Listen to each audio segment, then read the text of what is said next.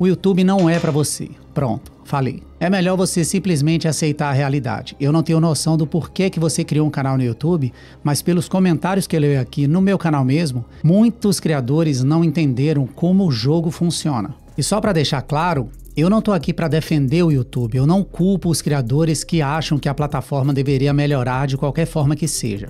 Muita gente até acha que eu tenho algum tipo de contrato ou vínculo com o YouTube e não é nada disso, mas eu sinceramente acredito que o YouTube é a melhor plataforma que a gente tem hoje para trabalhar o nosso conteúdo, que não morre tão fácil assim e que acaba, no final das contas, pagando melhor. Agora, você acabou criando uma expectativa bizarra em relação ao seu conteúdo, algum guru vendeu para você um sonho, uma ideia e você acabou comprando isso. Então, se quiser ouvir algumas verdades, pega o seu café e vamos conversar. O primeiro ponto que eu preciso deixar claro aqui é: se prepare.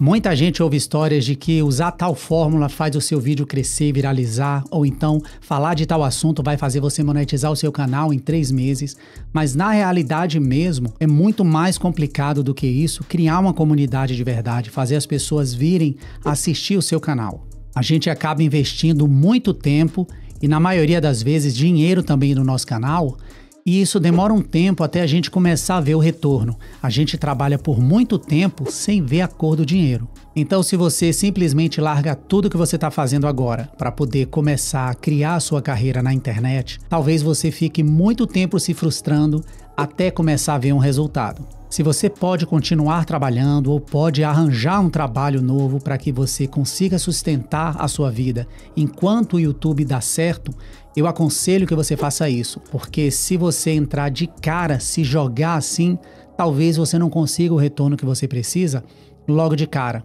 E aí você tem aquele problema da expectativa versus a realidade. Eu já vi tanto criadores que acabaram saindo do emprego ou perderam o emprego por algum acaso e se jogaram no YouTube querendo essa realidade que funcionasse logo, porque eles estavam investindo muito tempo, a expectativa estava ali. E o pessoal também do colégio, né? Acabei o colégio, ao invés de fazer alguma coisa, eu vou tentar o YouTube. E na maioria das vezes, não dá certo muito rápido. Eu já conversei com vários criadores que conseguiram fazer esse pulo, larguei tudo, investi no YouTube e deu certo, mas eu já conversei com muitos outros que não funcionou tão bem assim, que deram com a cara no muro. Por isso que eu acho legal a gente estar preparado. Porque o maior problema que eu vejo é o tempo que é necessário para você começar a criar um bom material, um bom conteúdo no YouTube. Existe um tempo que você vai precisar se treinar para conseguir aquele resultado. Então, quando você estiver olhando alguém que está conseguindo muita coisa, provavelmente essa pessoa já está no nível de criar um bom conteúdo para poder colher o resultado. Se não, ela vai estar tá naquela fase de se treinar, se treinar, se treinar até o vídeo ficar bom. E nesse estágio, o canal não cresce como você quer, você não tem os resultados, não consegue as parcerias, não monetiza o canal. Então, para ver a cor do dinheiro nesse estágio é muito mais complicado. E se você tiver com a sua vida resolvida fora do YouTube, digamos assim, vai ser muito mais fácil para você conseguir passar por esse período onde o YouTube não está dando certo ainda. Seja realista. Muita gente acredita que assim que você entra para o programa de parcerias, assim que você monetiza o seu canal no YouTube, você já começa a ver a grana entrar, já começa a ver aqueles dólares pingando no final do mês. Mas na maioria dos casos, para você sacar o seu primeiro dinheiro do YouTube, demora vários meses. Para quem ainda não criou a conta do AdSense ou nunca recebeu dinheiro do YouTube, não sabe exatamente como funciona, mas o AdSense ele tem um limite de saque mínimo de 100 dólares americanos. Então, seu canal vai precisar acumular primeiro esses 100 dólares para depois você conseguir sacar. Só que acumular esses 100 dólares não é fácil para muitos canais. Claro, se o seu canal faz muitas visualizações, você vai conseguir muito rápido esses 100 dólares e vai acabar fazendo de fato uma grana com o seu canal do YouTube. Só que conseguir essas visualizações é que é o maior problema. Só para você ter uma ideia, no meu canal de culinária, por exemplo, eu demorei mais de um ano para poder sacar os 100 dólares. Não é possível. Ia pingando 5 dólares aqui, 6 naquele mês, caía para 2. Então, assim, depende muito de como você esteja fazendo todo o seu projeto, você vai demorar muito tempo também, mesmo monetizando o canal, para conseguir fazer o primeiro saque. Agora, se você está me dizendo, então, Diego, era só eu fazer muitas visualizações que funcionaria.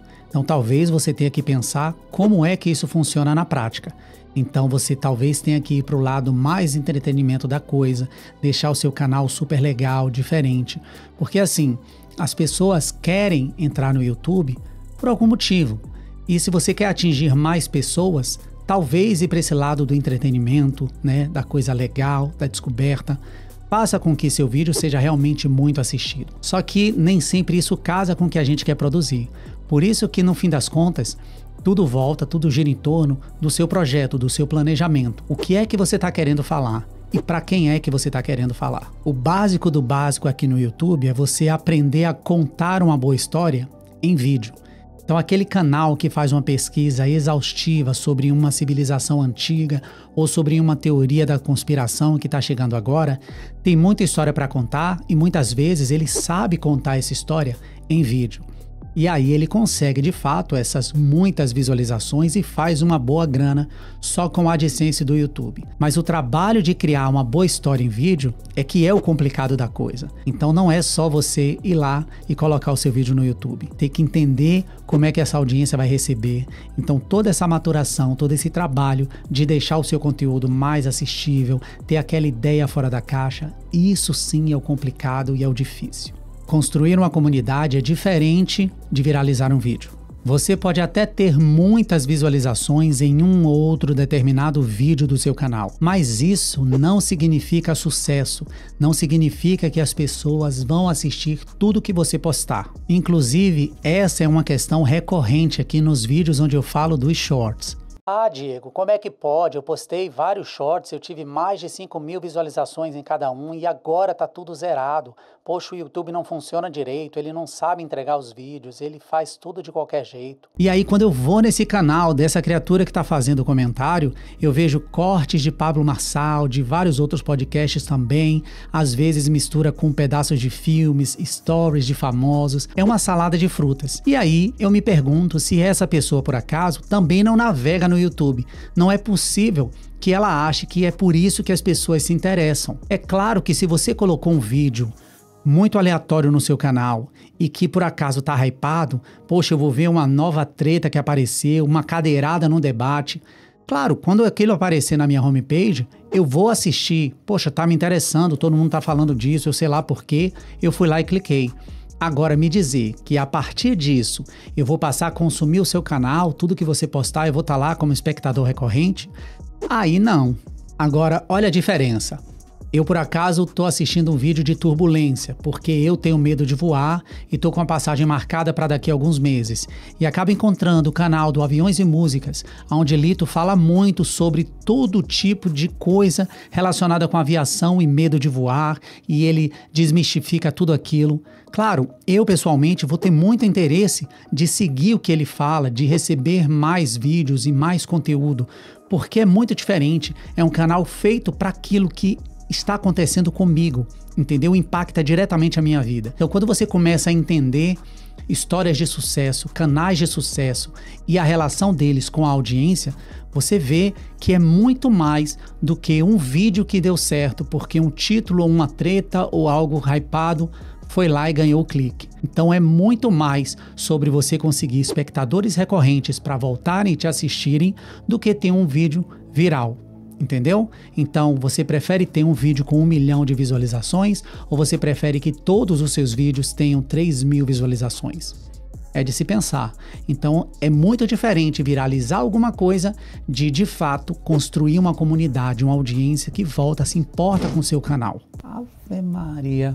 Cara, isso aí pulando é minha filha. Família, vai fazer o quê? Um dia, um dia eu alugo um, um estúdio. Você pode até não concordar comigo, e tá tudo bem.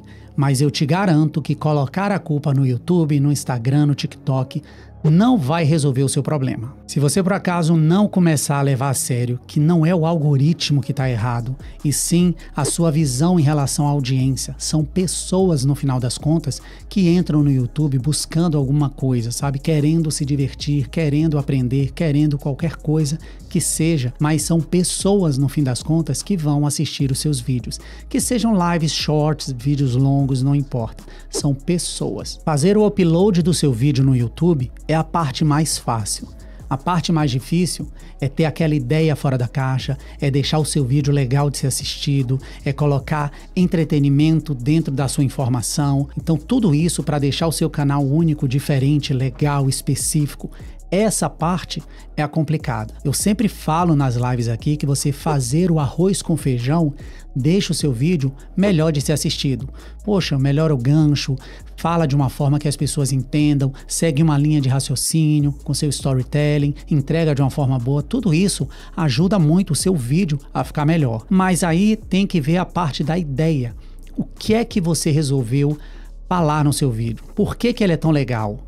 Isso vai fazer ele saltar e ter mais resultado. Não é só o beabá puro, sabe? Essa parte do beabá também funciona bem, mas você precisa que a sua ideia chegue junto para que esse vídeo com arroz com feijão bem contado, bem editado, ele possa funcionar. Então você vai ver canais que têm capas ruins, entre aspas, títulos bem simples estão funcionando muito bem, porque a ideia dos vídeos é muito boa. Se você não entendeu até agora que não é sobre algoritmo, sobre plataformas, e sim sobre pessoas, de fato, o YouTube não é para você.